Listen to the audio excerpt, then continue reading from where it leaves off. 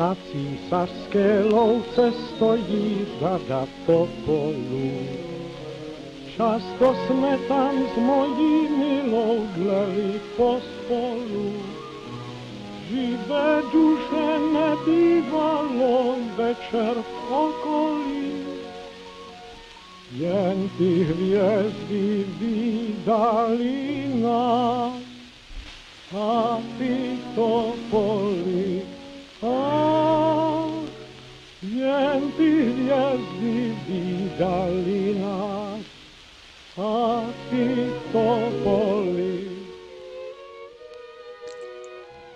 Jaroslav Hašek Nahý kluk u Vltavy Bylo pozdě večer. Ve Vltavě nekoupal se již nikdo. Oblékl jsem se na Modřanském břehu a strojil jsem se jít ke stanici parníku pivovar Braník, když jsem uslyšel z vrebin strašlivý pláč a nářek dítěte. Panenko Maria, Ježíš Maria, Josefe, svatý andělíčku strážný.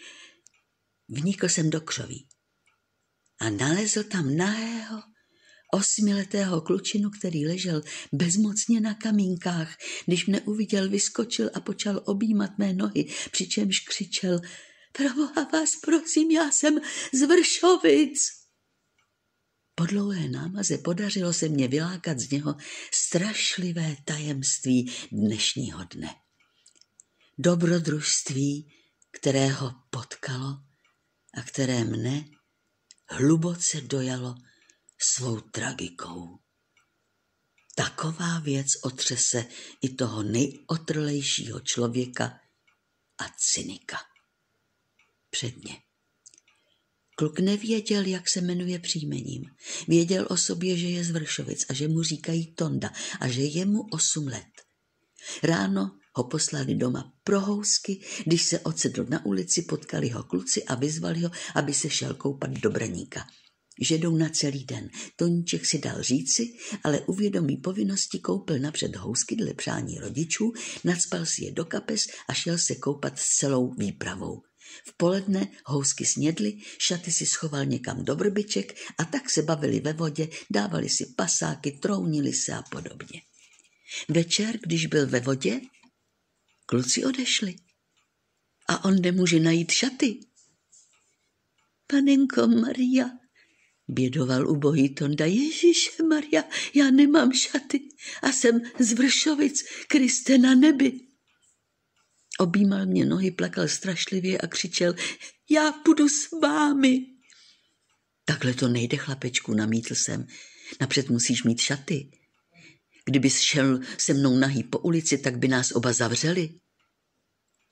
Kluk řval, já nejsem nahej, já měl ve vrbičkách šaty. A kde je máš teď, chlapečku? Oni mě je kluci hodili do vody a řekli, abych si našel jiný ve vrbičkách, poněvadž je tady moc kluků, co se svlíkali a já žádný jiný šaty nemůžu najít. Šlechetný chlapeček řval dál.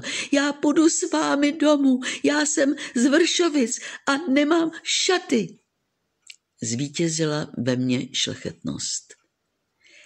Tak půjdeš se mnou, chlapečku, pravil jsem vlítně.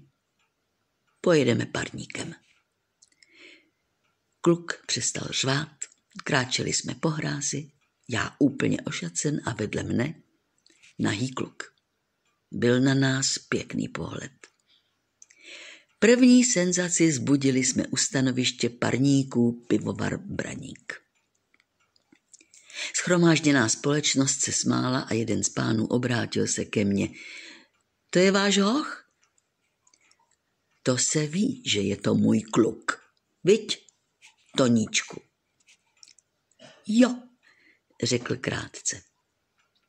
Čekali jsme dál. Nějaká paní obrátila se ke mně s výčitkou. Ale vždyť nemáš šatů, odpověděl jsem. To já taky vidím. Obrátili se opovržlivě od nás, ale té paní to nedalo a mluvila dál pichlavě. A to se pěkně o svého kluka staráte, že se nestydíte nechat ho jen tak, jak ho pámbu stvořil. Milost paní, kdybyste byla vy v takové situaci, jako tento hoch. Tu věřte, že bych s vámi nešel po hrázi, poněvadž vím, co je to cudnost. Ale tohle nevinné dítě, které se tak pěkně dětsky rýpá před vámi v nose, neurazí jistě žádného, kdo má smysl pro nahé dětské tělo. Dva páni si odplivli. Parník přijel. Spal jsem se s nahým klukem na palubu. Kapitán se na nás podíval a zvolal, co chcete s tím nahým klukem? Pro něho a pro mne lístek do Prahy. Nahý lidi nevozíme, pravil kapitán. Nechte kluka na břehu. Vy surovče, vykřikl jsem nahé dítě, mám nechat na břehu Vltavy ve tmě, vy jeden... Nedomluvil jsem, neboť dva lodníci vyvedli mne na můstek i s nahým klukem, párník odrazil a na osamělé výspě zůstali jsme ve večerním šeru. Kluk brečel. Neřvi, řekl jsem nebo tě hodím do vody. Musíme pěšky do Prahy. Šli jsme do Braníka. Já mám hlad, naříkal Tonda. Nezbylo mě nic jiného, než se s Hochem odebrat do pivovarské restaurace. Tady si sedí vedle mne. Posadili jsme se za všeobecného vzrušení hostů ke stolu kde seděly nějaké dámy. Přišel číšník. Dejte nám sklenici piva a dva vušty. Vyvalil na nás oči, dámy se rděly.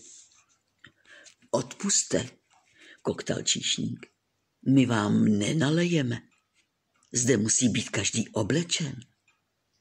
I toto nevinné dítě Otázal jsem se stavě hocha na stůl před dámy. Podívejte se na tuto živoucí nevinnost.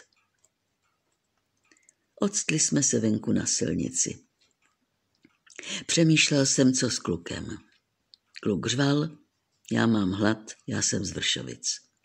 Šli jsme dál ku Praze. Byl jsem zoufalý tím stálým nářkem nahého kluka.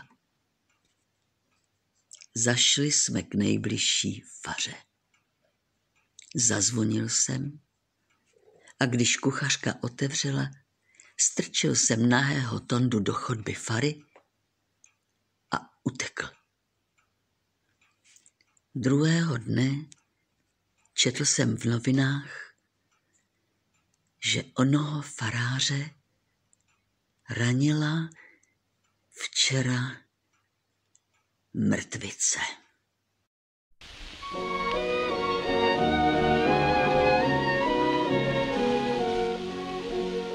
Na císařské louce stojí řada topolů. Často jsme tam s mojí milou dleli pospolu. Živé duše nebývalo večer v okolí. Jentih vijesti vidali nas, a ti to poli, a jentih vijesti vidali.